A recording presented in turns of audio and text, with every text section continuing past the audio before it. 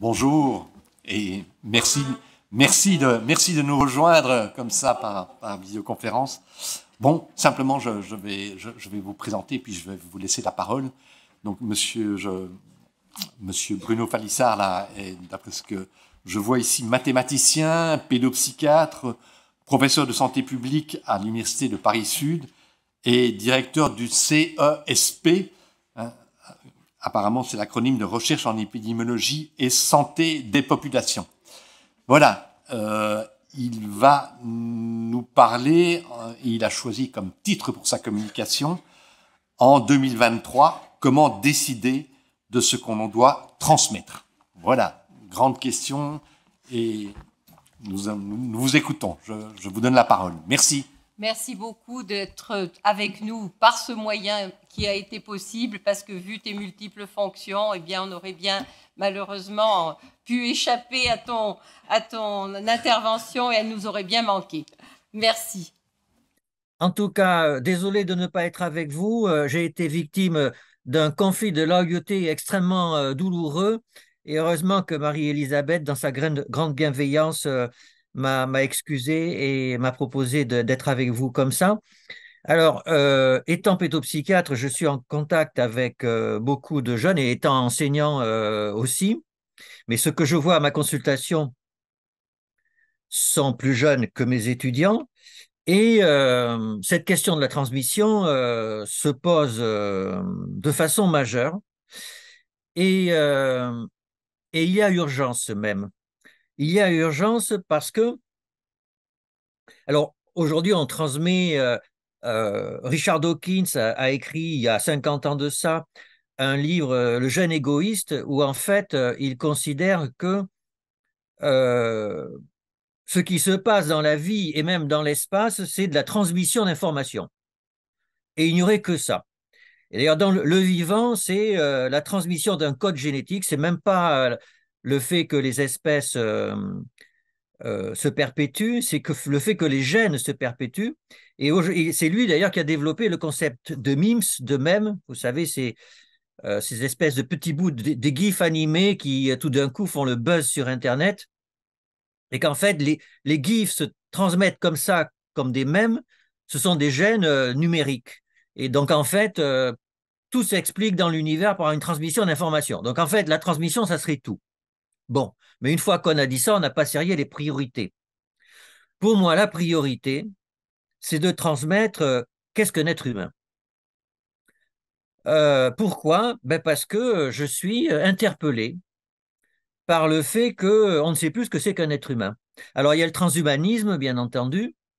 Peut-être que l'être humain pourrait être cloné ou transféré dans un, système informatique il y a bien sûr la question de la transidentité, alors qui, euh, comme pédopsychiatre, en ce moment nous interpelle euh, tout particulièrement. Donc, qu'est-ce qu'un homme, qu'est-ce qu'une femme? Voilà, on ne sait plus trop. Et même euh, l'antispécisme, où en fait, ben, finalement, entre les animaux et les humains, y a-t-il vraiment une différence? Et ça, bien sûr, s'intègre dans la question de notre place dans la planète et de la crise climatique. Et donc, je pense qu'il est temps de se poser la question et de pour moi, de transmettre ce que je pense de ce qu'est ce un être humain. Alors, cette question, il y a des philosophes dans la salle et ils vont considérer que cette question leur appartient avec l'ontologie, etc. Ça fait des milliers d'années qu'ils se posent cette question de qu'est-ce qu'un être humain. Et je ne suis pas philosophe, bien entendu, mais je vois beaucoup d'êtres humains et, je leur parle dans leur intimité. Et donc, moi, ce que je veux vous proposer, c'est mon, point de vue euh, personnel de clinicien sur le sujet. Voilà. Alors, euh, d'abord, pour moi, un être humain, c'est un être humain en développement. Et euh, en fait, on, ben, a été la rencontre de deux gamètes et euh, un embryon, puis un fœtus, puis un nouveau-né qui a grandi. Et alors, je vais m'adresser à des jeunes. Je vais faire un jeu de rôle comme s'il n'y avait que des jeunes dans la salle. Je sais qu'il y en a. Et donc, je m'adresse à eux en essayant de, pas d'avoir leur langage, parce qu'il leur appartient, mais de m'adresser à eux. Donc voilà, donc la question du développement est cruciale. Et alors là, il y a un élément fondamental pour comprendre ce qu'est un être humain, c'est la néothénie. c'est qu'en fait, euh, nous humains, nous naissons prématurés. Et euh, vous savez qu'il y a neuf mois de gestation chez l'humain, et euh, vraisemblablement, en fait, nous devrions rester 20 mois ou quelque chose comme ça dans l'utérus de notre mère. Alors vous me direz, mais comment vous pouvez savoir ça Sur quelle base scientifique on peut dire ça? En fait, il y a une corrélation très forte entre le volume du cerveau et la durée de gestation chez les mammifères terrestres. C'est très fort. La corrélation est au-dessus de 0,9. Et il y a deux exceptions, c'est l'éléphant et l'humain. Et euh, c'est vraiment, ce sont deux points qui sont très écartés de la droite. Et du coup, ben, si on projette sur la droite euh, l'humain à partir de son volume du cerveau, on tombe autour de 20 mois. Voilà cette explication. Alors, et pourquoi Alors vous me direz pourquoi l'être humain euh, naît trop tôt? Eh bien, ça vient de deux faits euh, qui euh, sont en synergie. Le premier, c'est que les humains sont debout et donc le bassin de la femelle humaine est beaucoup plus étroit que le bassin des guenons. Et donc le détroit inférieur par lequel passe le, le fœtus lors de l'accouchement est beaucoup plus étroit que chez les primates. Et puis, les humains ont un cerveau beaucoup plus gros. Et donc, si le cerveau est plus gros et que le détroit inférieur du bassin de la femme est plus étroit, la seule solution pour que l'accouchement soit viable, c'est que le fœtus accouche prématuré. Et même comme ça, vous êtes au courant, c'est pas pas simple de, de, faire accoucher euh, un petit être humain. Donc on est prématuré. Et alors ça a un impact sur ce qu'est un humain, c'est que l'humain va être très vulnérable donc la, présence de ses parents chez nous et de sa famille euh, ou de la communauté autour est extrêmement importante. Et il va être, alors que son cerveau n'est pas du tout mature, il va être confronté à un bain de langage, un bain d'odeur, de, contact tactile, etc. Et ça va le construire. Ça va le construire et ça va faire que notre rapport à nos parents ou à notre famille ou à notre communauté va être particulièrement fort et en plus, on va le voir, nous allons être au contact de notre communauté, de notre famille pendant beaucoup plus d'années que chez les autres primates.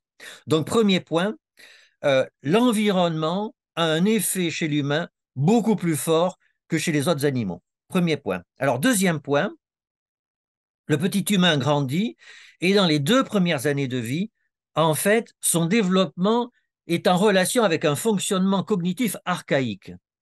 Nous ne sommes plus apparemment archaïques. Nous avons, il y a des philosophes qui aiment la rationalité, la raison, et, nous sommes tous comme ça. Nous discutons, nous avons un langage, nous reviendrons dessus, et tout ça c'est particulièrement important. Et donc nous avons l'impression que nous sommes des sujets pensants rationnels. En réalité, au fond de nous, il y a un noyau archaïque très compliqué que l'on perçoit par moments, notamment quand nous sommes quand nous entrons en contact physique avec quelqu'un, vous avez tous expérimenté ça, et bien sûr, vous me voyez venir dans le domaine de la sexualité, ça va être encore plus important. Quand on touche quelqu'un, on se sent un peu flotté dans notre identité, dans le, fait que nous sommes un individu séparé des autres. Et ce que disent les psychanalystes, alors c'est très difficile de l'étayer expérimentalement, même s'il commence à y avoir quelques données, c'est que le petit être humain doit commencer à se construire comme un sujet différent de son environnement. Et c'est pas simple et ça laisse des traces. Voilà, traces, traces que l'on n'a pas forcément envie de voir, mais qui par moments refont surface chez nous. Et donc être humain, c'est aussi être un être humain qui, par certains aspects, est archaïque.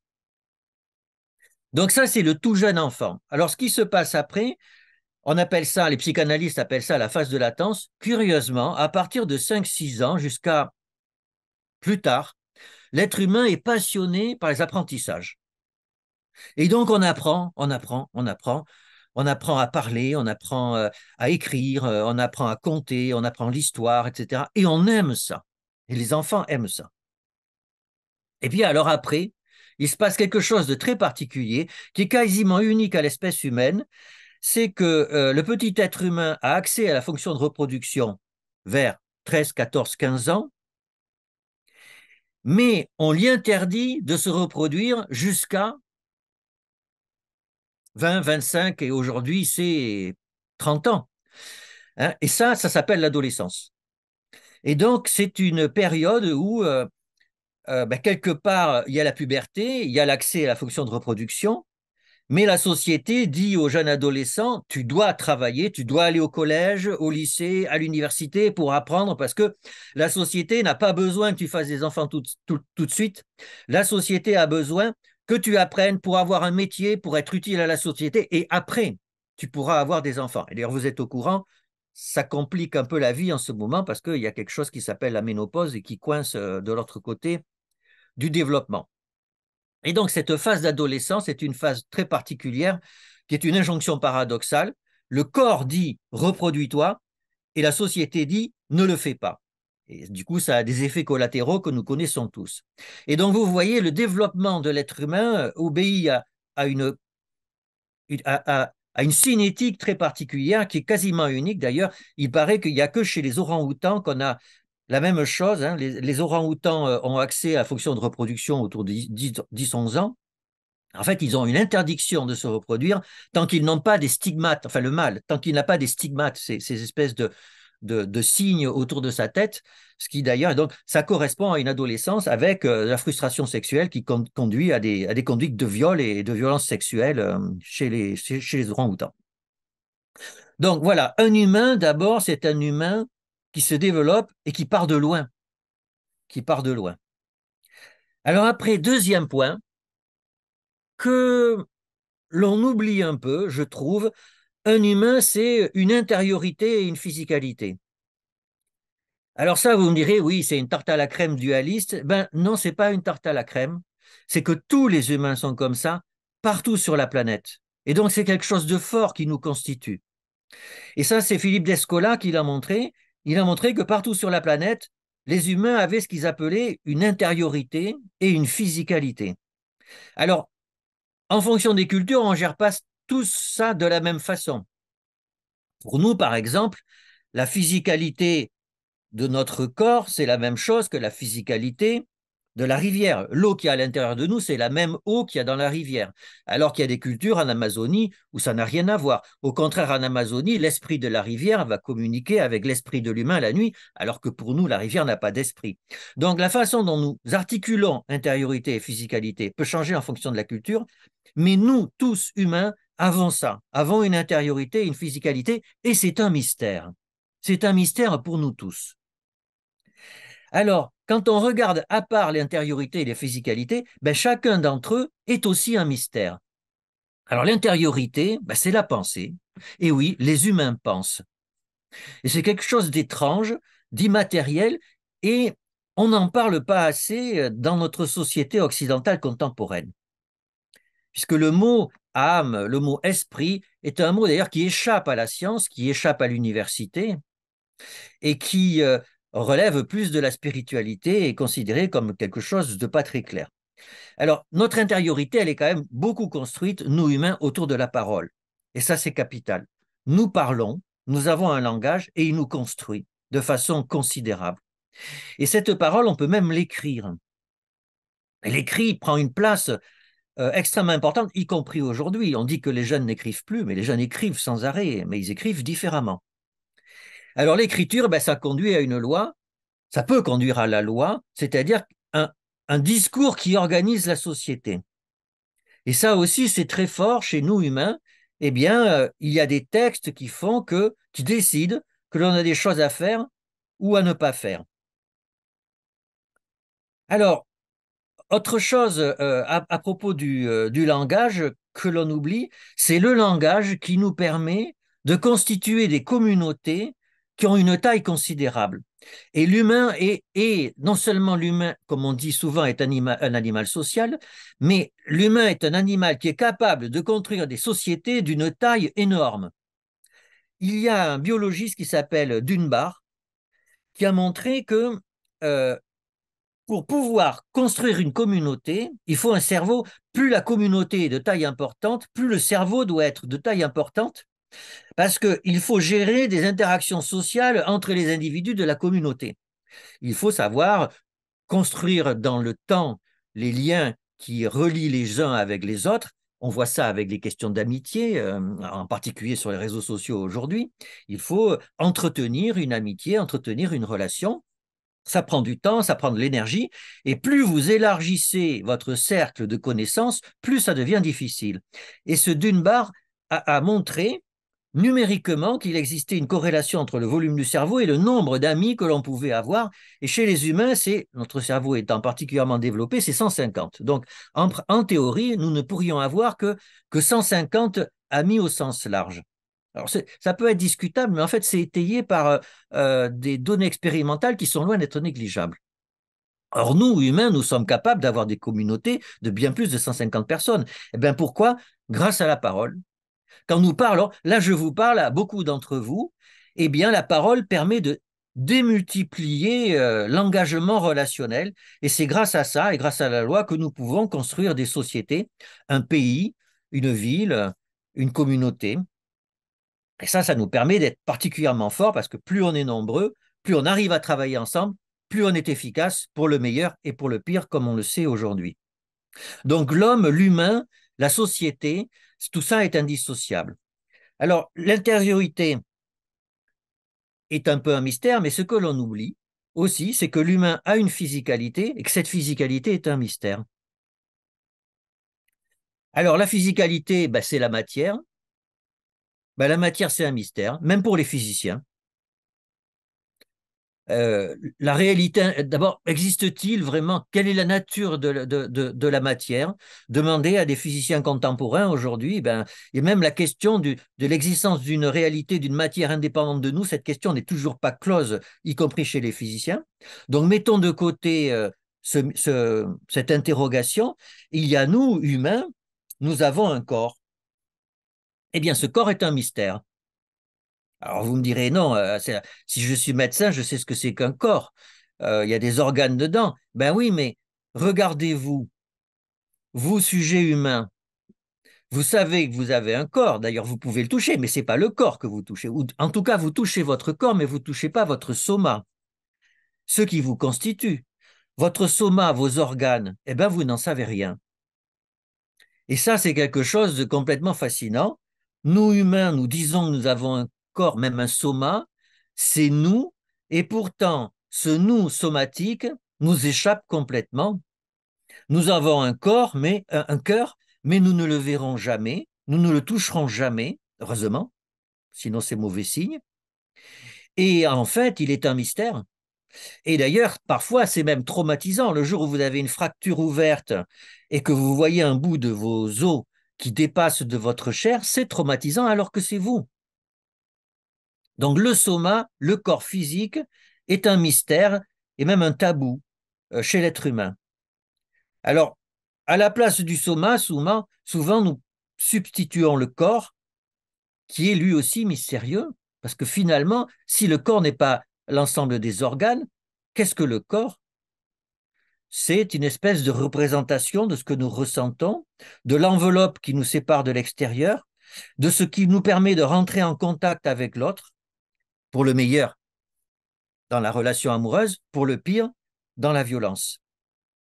Donc, intériorité, physicalité, euh, deux choses qui sont mystérieuses mais qui constituent l'humanité, avec des ponts entre les deux.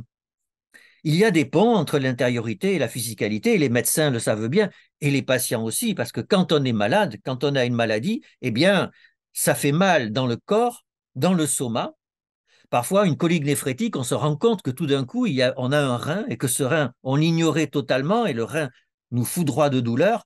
Et bien sûr, la douleur, c'est aussi de la souffrance intérieure à nous-mêmes. Donc la maladie, le fait d'être malade, fait un pont entre l'intériorité et la physicalité. Et le fait d'être malade, eh bien, c'est quelque chose qui interpelle l'humain. Alors, il y a des choses qui sont moins dramatiques que la maladie dans les ponts qui, existent entre intériorité et physicalité. Il y a le sport, Hein, et euh, faire du sport, c'est travailler avec son corps et aussi quelque part avec son esprit. Et puis bien sûr, il y a la sexualité.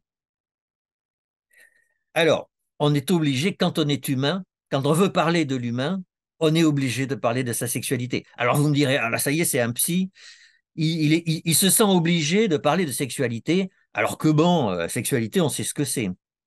Eh ben, euh, eh ben, on n'a pas envie de voir, même en 2023, on n'a pas envie de voir que la sexualité de l'humain, c'est compliqué. Alors d'abord, la sexualité, ben, c'est violent et c'est fort. C'est d'une intensité euh, extraordinaire chez tout le monde. Et ça aussi, on n'a pas tellement envie de le voir. Elle est partout. Regardez les fictions, regardez les romans, regardez les paroles des chansons, regardez les scénarios de beaucoup de films. À peu près la moitié, c'est autour de relations amoureuses et qui, quelque part, conduisent à la sexualité. Alors la sexualité, c'est fort, et là aussi pour le meilleur et pour le pire. Il n'y a pas plus fort qu'une relation amoureuse, et ça peut être particulièrement positif, ça peut transformer en positif une existence. Et puis la, sexualité peut conduire à la violence, on le sait aujourd'hui, avec les violences sexistes, sexuelles, avec même l'inceste, qui est l'espèce de point culminant de la violence dans la sexualité. Alors nous avons une intériorité, et la sexualité infiltre l'intériorité. Et je me permets de dire ça dans un colloque où il y a le mot psychanalyse qui est affiché. Et oui, la sexualité, elle se cache dans l'intériorité. Les psychanalystes parlent de sublimation. Quand on apprend, on peut être, passionné par une discipline, mais passionné dans une mesure extraordinaire. Eh bien, c'est souvent un peu suspect de voir l'intensité émotionnelle investie dans une activité purement intellectuelle c'est très tentant de dire que le moteur qu'il y a derrière est quand même un moteur un peu en lien avec la force de la sexualité, la force motrice de la sexualité. Alors, euh, ça c'était intériorité, physicalité, ça constitue vraiment l'être humain. Et n'oublions pas la physicalité. Alors c'est là que je fais un, écart avec les transhumanistes. Hein. Transhumaniste, c'est considérer qu'un humain pourrait exister avec une simple intériorité, mais que serait un humain sans sexualité? Que serait un humain sans sport? Que serait même un humain qui ne serait pas malade? Est-ce qu'il serait vraiment un humain? Alors un autre point à propos de l'humanité euh, euh, et qui se pose aujourd'hui et que j'ai envie de transmettre, c'est la question de nos différences. Donc aujourd'hui, la question de la différence est une question anthropologique forte il y aurait des différences euh, entre les cultures, entre les sexes, entre les communautés, etc., etc. Alors oui, bien sûr, les cultures ont une influence considérable sur ce qu'est un être humain. Oui, bien sûr.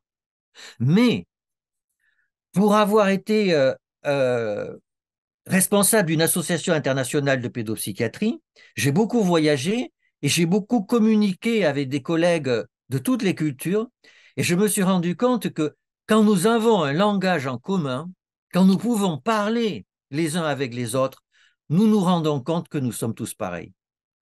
Voilà. Oui, il y a des différences culturelles.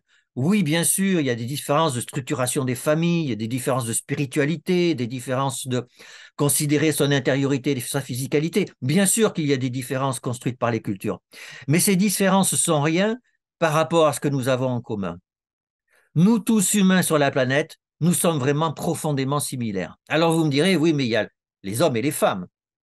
Alors ça aussi, c'est une différence qui traverse l'humanité et qui aujourd'hui interpelle beaucoup euh, de nos jeunes concitoyens. Alors, euh, existe-t-il des différences d'humanité entre les femmes et les hommes?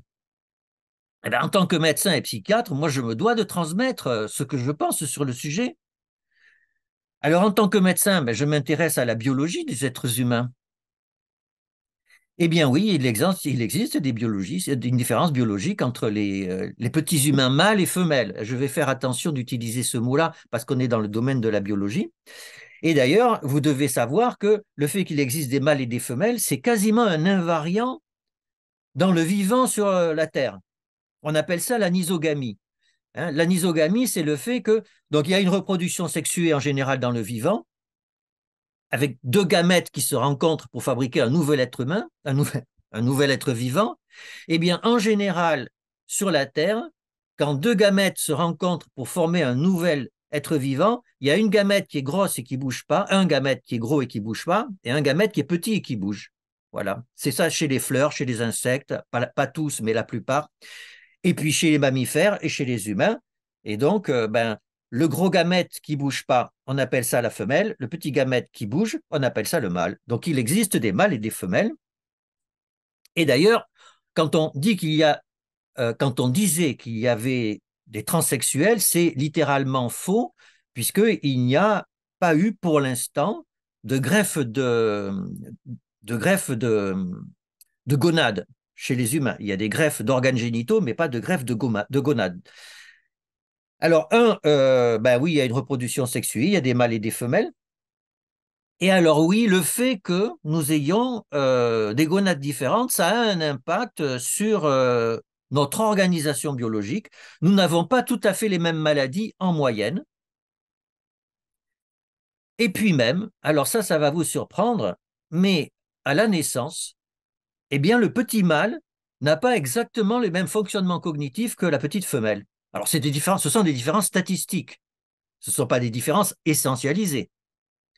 Hein, on ne peut pas dire les mâles sont comme ça, les femelles sont comme ça. Mais il y a des, comme il y a des différences de taille entre le mâle adulte et la femelle adulte, eh bien, dès la naissance, et il y a des, des expériences assez robustes pour que je puisse me permettre de dire ça, il y a des différences de fonctionnement cognitif entre le petit mâle et la petite femelle à la naissance. Et ça va être d'ailleurs globalement renforcé parce que la société va faire de ces différences. Alors, une autre différence que l'on ne voit pas assez, et qui pourtant va avoir un impact anthropologique sur ce qu'est un humain mâle et sur ce qu'est un humain femelle, c'est la taille possible de la descendance. C'est que, et ça c'est vrai d'ailleurs chez la plupart des mammifères, en fait, une femelle aura un nombre limité de la taille de sa descendance. Chez les humains, en général, une femelle, une femelle humaine va avoir difficilement plus de 10 voire 20 enfants. Alors qu'un mâle peut avoir 50, 100, 200, 200 humains dans sa descendance. Et ça, ça va avoir un impact anthropologique très fort. C'est qu'il va de ce fait il y avoir une concurrence entre les mâles pour leur descendance beaucoup plus forte que la concurrence entre les femelles. Les femelles sont quasiment assurées d'avoir une descendance, les mâles ne sont beaucoup moins assurés d'avoir une descendance. Et ça, ça va avoir une traduction anthropologique énorme sur ce que la société dit des hommes et sur ce que la société dit des femmes. Je ne dis plus mâle et je dis femelle. Et ça, on le vit très fort aujourd'hui, hein. Et euh, on ne l'explique, je trouve, pas de façon assez claire. Alors, c'était l'essentiel que je voulais vous dire c'était de mon point de vue, euh, ce qui fait un humain aujourd'hui. Alors vous pourriez me dire, mais oui, mais ce qui fait un humain aujourd'hui, c'est quand même avant tout le fait qu'il soit libre, le fait qu'il ait une conscience, le fait qu'il ait une conscience de soi, etc. C'est ça qui fait l'humain euh, fondamentalement. Eh bien, je vous dirais non. Pour moi, ce sont de fausses questions. Alors, mes collègues philosophes vont hurler en entendant ça. Je, vous dis juste ce que je ressens. Pour moi, euh, la notion de liberté, le concept de liberté, n'est pas central. D'ailleurs, de toute façon, c'est indécidable. Vous pouvez considérer que vous êtes libre et je vous engage à considérer que vous êtes libre. On est beaucoup mieux dans sa vie comme ça. Mais de toute façon, c'est indécidable, à moins qu'un jour on vous démontre que vous êtes complètement déterminé, ce qui serait quand même vraiment très compliqué, eh bien vous êtes libre de penser que vous êtes libre et profitez-en. Et après la conscience, la conscience de soi, pour aller dans un nombre considérable de conférences où les gens essaient de définir ce qu'est une conscience, etc., et qu'ils n'y arrivent toujours pas, ça m'incite à penser que cette question de la conscience n'est pas une question euh, si bien formulée et si pertinente que ça. Et la conscience de soi qui interpelle tellement l'humain, en fait, euh, c'est pas grand-chose. C'est juste tout simplement le fait que nous n'arrivons pas tellement à nous comprendre. Et partant de cela, qu'est-ce que le soi? Eh ben, C'est compliqué, mais c'est la vie. C'est juste comme ça qu'on est. Et il n'y a pas à s'en préoccuper. Alors le dernier mot que j'aurais à vous dire, c'est que bien sûr, ce qui fait l'humain aussi, c'est qu'il va mourir. Alors on dit que seul l'humain euh, sait qu'il va mourir. Je ne sais pas comment on peut dire ça. Je ne sais pas comment on sait que les animaux ne savent pas qu'ils vont mourir. Euh, je pense que c'est plausible, mais je ne vois pas comment on peut l'affirmer d'un ton aussi péremptoire. En tout cas, ce qui est vrai, c'est que nous savons que nous allons mourir et nous faisons tous les efforts que nous pouvons pour ne pas nous en rappeler. Alors, bon, souvent on dit, euh, la vie est courte, profitez-en, eh bien, je vais vous dire le contraire.